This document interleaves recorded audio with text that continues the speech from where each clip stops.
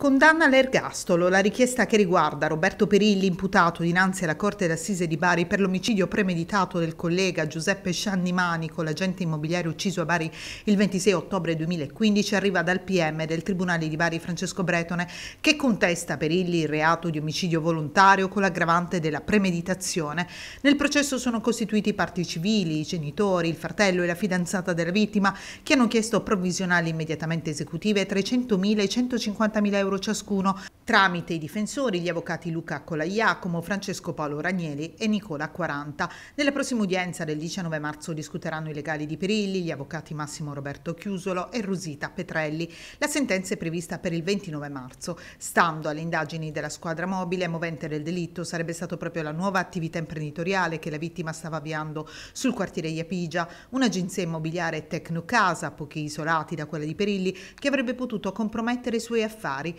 Perilli avrebbe quindi commissionato l'omicidio di Scianni Manico a Luigi Di Gioia, pregiudicato del quartiere Iapigia di Bari, custode del garage dove Perilli parcheggiava la sua auto. Di Gioia è già stato condannato con il rito abbreviato a 30 anni di reclusione in qualità di esecutore materiale.